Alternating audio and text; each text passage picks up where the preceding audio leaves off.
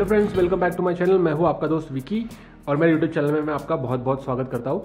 दोस्तों, मेरे पास है ये मॉस्किटो बैट जो कि कुछ ठीक से काम नहीं कर रही है। तो आज इसको हम लोग इस वीडियो में करेंगे रिपेयर दोस्तों, क्योंकि ये इसका कंस्ट्रक्शन बेहद ही सिंपल होता है। इसमें इतना कुछ होता नहीं है तो अगर आपके पास थोड़ी सी भी टेक्निकल नॉलेज है, आप थोड़े से भी टेक्निकल साउंड हो, आपको सोल्डरिंग आती होगी तो भी आप इसको आराम से रिपेयर कर लोगे। और इसका फॉल्ट जो है दोस्तों, बहुत ही छोटा है, जो मैं आपको बताऊँगा, जो कि काफ़ी ईजी है रिपेयर करना। तो नॉर्मली क्या होता है, जब कभी भी हमारा बैट खराब हो जाता है तो हम लोग फेंक देते हैं उसको। और ये एनवायरनमेंट के लिए भी अच्छा नहीं है तो हम लोग इसको जस्ट रिपेयर कर देंगे तो भी आपका सस्ते में काम हो जाएगा और आप इसको आराम से बहुत देर तक यूज़ भी कर सकते हो। मतलब एक बैट दो तीन साल तक तो आराम से चल जाएगा, अगर ज़्यादा कोई बड़ा प्रॉब्लम नहीं होता है तो। तो दोस्तों, मैं आपको बता देता हूँ प्रॉब्लम क्या है। यहाँ पे देखिए ये स्विच यहाँ पे चालू है। इधर चार्जिंग भी हो रही है, लेकिन बाहर से लाइट आ रहा है तो दिख नहीं रहा है। और यहाँ पे जो एलईडी थी, वो जब मैंने लास्ट टाइम इसको खोला था तो यहाँ पे मूव हो गई। तो वो पता नहीं दिखेगा या नहीं दिखेगा क्योंकि तो चार्जिंग तो हो रही है। तो दोस्तों देखिए, अभी मैं इसको चालू कर देता हूँ आपके सामने। ये बटन इसका स्विच ऑन ही है। और, ये देखिए, अभी मैं इसको शॉर्ट कर रहा हूँ ऊपर से। तो अभी ये देखिए, बैटरी डाउन हो गई है पूरी। देखिए देखिए। ठीक है? तो ये शॉर्ट भी हो रहा है। मतलब जो आवाज़ है वो भी आ रहा है। और यहाँ पे ये चार्जिंग ज़्यादा देर तक इसमें होल्ड नहीं हो रही है। इसका मतलब इसका जो बैटरी है, उसमें प्रॉब्लम हो गया है।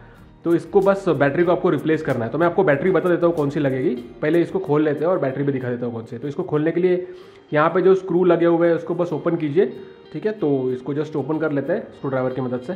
दोस्तों, ये इसका बैटरी है जो कि मैंने लोकल मार्केट से खरीदा था। कोई भी आपको इलेक्ट्रॉनिक स्टोर में आराम से इसको मिल जाएगा। आप दोस्तों पावर ऑक्स कंपनी का ये है ये एक लोकल कंपनी है आई थिंक लेकिन जो सुनका है, उसका भी आता है। उसकी भी लिंक डिस्क्रिप्शन बॉक्स में दे दूँगा। तो आप अगर वो ले सकते हो तो वो ही ले लो।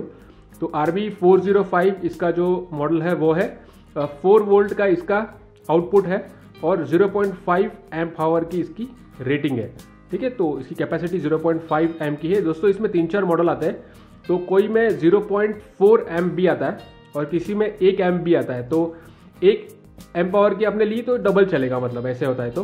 दोस्तों, कोई भी चीज़ आपको अगर रिपेयर करनी होगी तो ऑब्वियसली उसको खोलना पड़ता है। इसमें प्रॉब्लम यह है दोस्तों, मैं नॉर्मल वाला जो स्क्रू ड्राइवर है, उसको यूज़ नहीं कर सकता, क्योंकि ये देखिए, ये जो स्क्रू है, वो काफ़ी डीप है अंदर, ठीक है? तो करीब करीब इतना डीप है तो नॉर्मल जो मेरे पास दूसरा वाला जो है स्क्रू ड्राइवर वो इतना कुछ काम का है नहीं। तो इसीलिए मेरे पास ये पैकिस का ये लैपटॉप रिपेयर का जो किट है मोबाइल लैपटॉप रिपेयर का किट तो ये मैंने लिया था, इसकी भी लिंक डिस्क्रिप्शन बॉक्स में है। तो ये देखिए, इसमें जो ये वाला जो अलग अलग इसके आता है देखिए। ठीक है तो इसकी लेंथ भी बहुत ज़्यादा है और यहाँ पे ये अटकता है। तो जितनी आपको लेंथ चाहिए उससे आप हो सकते हो। तो ये बहुत ही इंपॉर्टेंट टूल है कि अगर आपकी हॉबी है तो आपके पास ये होना ही चाहिए। तो चलिए दोस्तों, कर लेते हैं इसको ओपन तो अभी ये बैट को हम लोग ने ओपन कर लिया है। ये देखिए, इसका बैटरी है। बैटरी पे कोई रेटिंग दिया नहीं है। ये देखिए, लेकिन यहाँ पे ये नंबर दिया हुआ है। तो ये नंबर का रेफरेंस लेके आप सिमिलर बैटरी ले सकते हो, लेकिन वो भी चल जाएगी, कोई इशू नहीं है। फोर वॉट ही है ये भी। यहाँ पे इसका पीसी भी है। और दोस्तों, खोलने से पहले पूरा आपको इसको डिस्चार्ज कर देना है और ये बटन ऑफ़ पे होना चाहिए, इतना याद रखना। दोस्तों, हमारी जो बैटरी है, वो भी देखिए सेम साइज़ की है। ठीक है? तो ये इसमें चल जाएगा। कोई कोई दोस्तों बैट्स के अंदर है ना, वो जो हमारे डबल ए के सेल होते हैं ना, वो रिचार्जेबल सेल वो लोग डालते हैं। और ये दोस्तों लेड एसिडेट की बैटरी है तो उसमें वो दूसरा वाला बैटरी होता है तो अगर वो वाला होगा तो आपको वो रिप्लेस करना है। इसलिए कभी भी बैटरी मंगाने से पहले एक बार उसको खोल के देखिए कि कौन से टाइप का बैटरी अंदर है।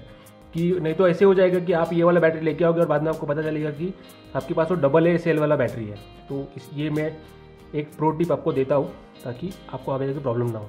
दोस्तों, क्योंकि ये डीसी बैटरी है तो आपको यहाँ पे पॉजिटिव नेगेटिव टर्मिनल मिलेगी। ये पॉजिटिव यहाँ पे नेगेटिव यहाँ पे, ये पॉजिटिव और ये नेगेटिव ठीक है? और इसमें भी सेम ऐसे ही है। ये देखिए, ये वाला पॉजिटिव ये वाला नेगेटिव और जो पॉजिटिव वायर है यहाँ पर। इसके ऊपर मार्किंग होगी, देखिए। ये जो पार्ट है यहाँ पे, ये पॉजिटिव लिखा हुआ है यहाँ पे तो पॉजिटिव वाला यहाँ पे लगेगा। तो चलिए दोस्तों, इसको हटा लेंगे, यहाँ से हटाएँगे यहाँ पे, और ये जो हमारा, ये है, इसको सोल्डर कर लेंगे हम लोग, ठीक है? चलिए कर लेते हैं। दोस्तों सोल्डरिंग करने के लिए मेरे पास ये सोल्डरिंग का सेट है तो ये भी मैंने अमेजोन से लिया था। ये देखिए एपटेक कंपनी का है ये काफ़ी अच्छे से चल रहा है। तो इसमें एक सोल्डरिंग आयन मिला मुझे ये सोल्डरिंग वायर मिला, फिर ये डी सोल्डरिंग किट जो आता है वो मिला है सोल्डर निकालने के लिए ये होता है। और उसके बाद में फ्लक्स का पेस्ट भी मिला है। ये फोरसेप मिला है, जिससे आप वायर को वगैरह होल्ड कर सकते हो। और ये इसका स्टैंड मिला है, ठीक है? तो ये बहुत ही यूज़फुल चीज़ है, अगर आपके पास नहीं है तो आप इसको बाय करने का सोच सकते हो, क्योंकि सारी चीज़ें एक साथ आती है। तो ये बहुत ही अच्छा है इसके साथ। तो चलिए दोस्तों सोल्डरिंग कर लेते हैं। तो फ्रेंड्स अभी हम लोग ने इसको सोल्डरिंग कर दिया है पॉजिटिव को पॉजिटिव के साथ और नेगेटिव को नेगेटिव के साथ। अभी हम लोग इसको अटैच कर लेंगे तो उसके बाद में हम लोग उसको बंद कर देंगे, ओके? फिर चार्जिंग कर लेंगे। दोस्तों, एक छोटी सी प्रॉब्लम हो गई थी, इसका जो साइज़ है, वो इतना इतना बड़ा था मतलब थोड़ा सा बड़ा था मैं कहूँगा कि दो दो तीन मिलीमीटर बड़ा था। तो यहाँ पे इस खाँचे में ये एक्चुअली एग्जैक्टली बैठ नहीं रहा था, एकदम टाइट बैठ रहा था। तो मैंने देखिए, इस तरफ़ ये खाँचा दिख रहा है आपको? तो इस तरफ़ ऐसे एक खाँचा यहाँ पर भी था तो मैंने यहाँ पर इसको कट कर दिया। तब, अब ये क्रॉस थोड़ा सा क्रॉस बैठेगा, लेकिन ये आराम से इसके अंदर बैठ जाएगा। तो ये थोड़ा सा जुगाड़ मुझे करना पड़ा। चलिए दोस्तों, इसको फिट कर लेते हैं और देखते हैं कि कैसे काम करता है ये। दोस्तों, ये पूरी तरह से लगा दिया है अभी। यहाँ पे लास्ट टाइम टूटा हुआ था तो इसकी वजह से ये जुगाड़ किया था मैंने।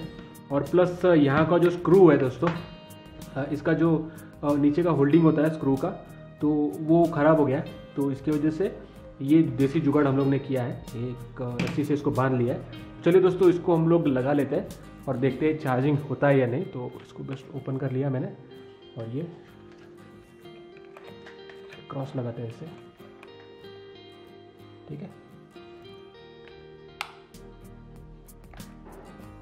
ये देखिए। चार्जिंग हो रही है दोस्तों। ठीक है ये एक्चुअली ब्लिंक नहीं हो रहा है, क्योंकि ये शटर स्पीड ज़्यादा है इस कैमरे का। तो इसके वजह से ये आपको ब्लिंकिंग लग रहा है, लेकिन ये एक्चुअली में ब्लिंक नहीं हो रहा है। मतलब करंट फ्लक्चुएट नहीं हो रहा है। ठीक है तो अभी इसको चार्ज करके एक आध घंटा चार्ज करके फिर हम लोग टेस्टिंग कर लेंगे। और बाद में इसको मैं कम से कम आठ दस घंटे फ़र्स्ट चार्ज में चार्ज कर लूँगा ओके चलिए, एक घंटे के बाद मिलते हैं और देखते हैं ये कैसे परफॉर्म करता है। दोस्तों, अभी ये चार्जिंग एक घंटा ऑलमोस्ट होने आया है, आप देखिए। लेकिन ये एक घंटे हम लोग टेस्ट के लिए कर सकते हैं तो इसको बंद करके, मैंने नीचे शॉर्ट करके रखा है ऑलरेडी तो देखते चलता है क्या? ये देखिए।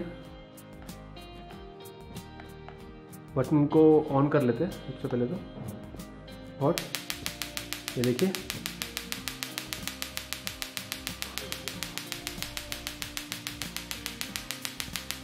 देखिए, इतना शॉर्ट करने के बावजूद भी बैटरी उतरी नहीं है।